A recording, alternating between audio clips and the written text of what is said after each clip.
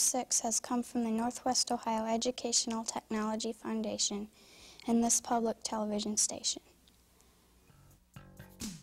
Hi, we're the sixth grade class of Liberty Benton School, home of the Eagles. Welcome to News 6. This week on News 6, we'll set the stage at Findlay's Theatrical Accessories Shop. We'll talk to award-winning country singing Liberty Benton sophomore, and we'll see the scaly collection of a Liberty Benton sixth grader.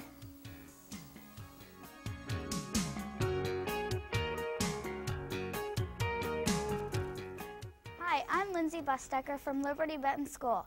Welcome to New 6. With today's first story, here's Shelley Thompson. Few people know that there's a place in Findlay, Ohio that makes theatrical supplies of all kinds. W News 6 visited this place, and Amber Gilbert has the story.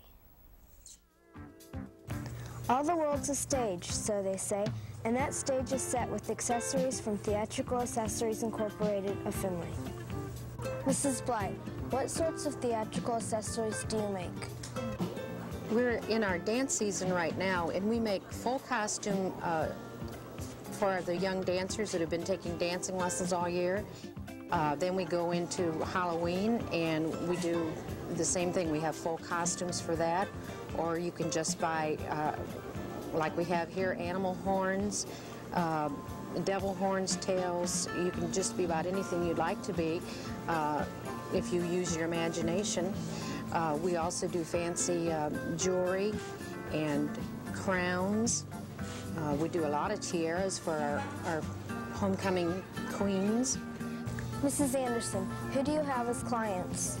We wholesale only, and we ship out to dealers, wholesalers, distributors, mostly uh, costume and novelty type businesses and so forth. Have you ever made anything that we might recognize?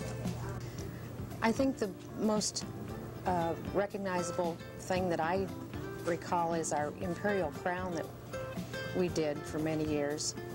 During the uh, centennial of the uh, Statue of Liberty, we saw our Statue of Liberty chair and torch on television quite a bit. The torch is made with a long handle with a, it's actually, it's on a flashlight, so that in parades it shows up very well. I think the uh, um, antlers are the most unusual item we make for Christmas.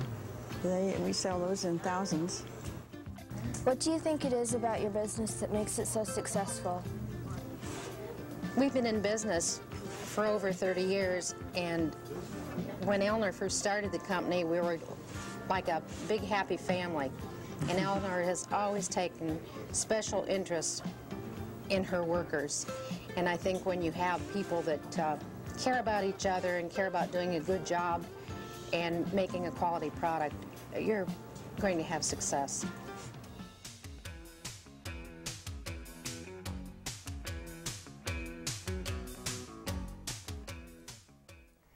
This week's News 6 is being produced by the 6th grade classes from Liberty Benton School.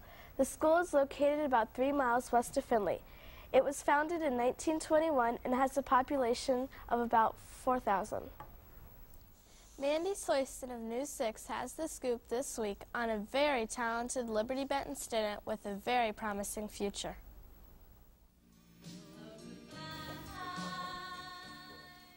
Heather Monday is a sophomore at Liberty Benton High School.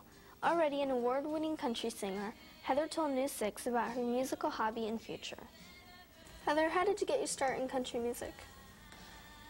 I just started listening to music, and once I listened to it, I wanted to do more of it, and I just, my parents made me get out and do the talent show at our school, and then after that, everything, I wanted to do it more.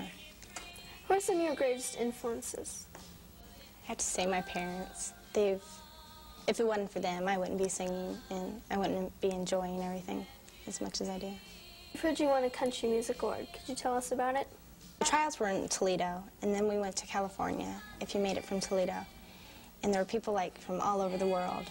And you had a tryout, and there was like over 100 people. And if you made that, you had to make top finals to be in the awards night. And I made top four, and I got first runner-up.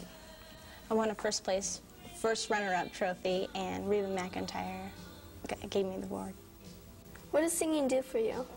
It relaxes me. It's like when I'm in a down mood or something, I always sing, and it relaxes me and puts me at ease. And it, I don't think about my troubles or anything. What plans do you have for your musical career? I hopefully am going to become a big country singer star. Well, I know I am going to become one. At least I, I'm pretty sure of myself. I want to do it, and I'm determined to do it.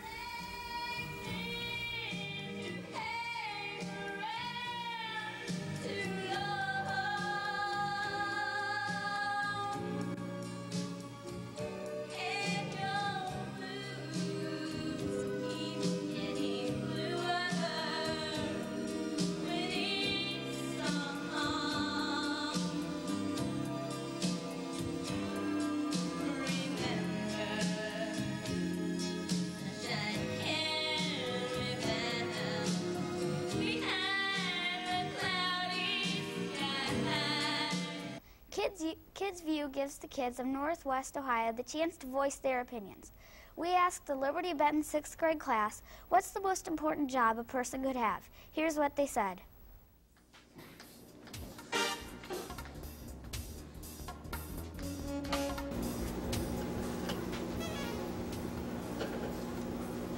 I think the most important job in the world is a Supreme Court justice because if we did not have them, there would not be justice in our country. The most important job, I think, is the president's. Because if we didn't have a president, the country would be in a mess. I think the most important job is a doctor because he saves so many people's lives.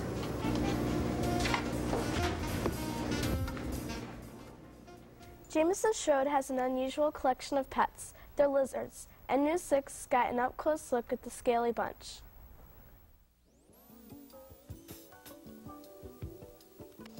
Jameson started his collection with just one lizard, and now he has 14 of all kinds. Jameson, what kind of lizards do you have, and how are they different from each other? Well, I have iguanas, green iguanas, and I got a, I have water dragons. I have one sailfin, and I got a little anole, common green anole, and they're all different in different ways, the way they act, and he's different by their colors and how, how they act, um, their sizes. How do you take care of your lizards?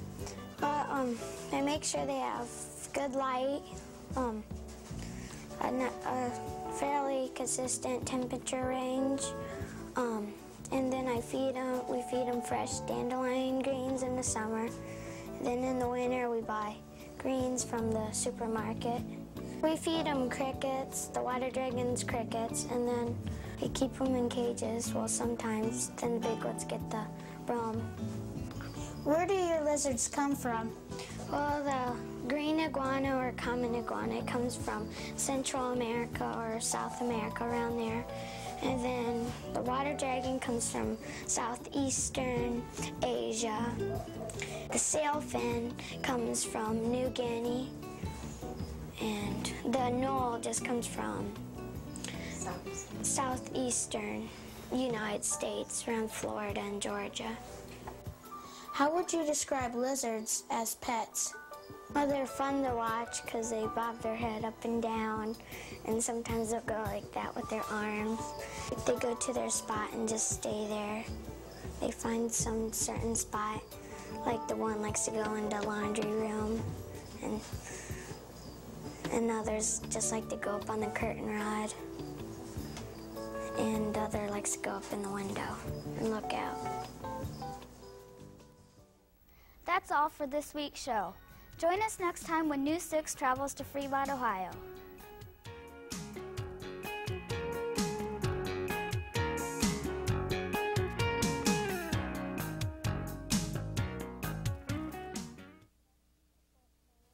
Production support for award-winning News 6 has come from the Northwest Ohio Educational Technology Foundation and this public television station.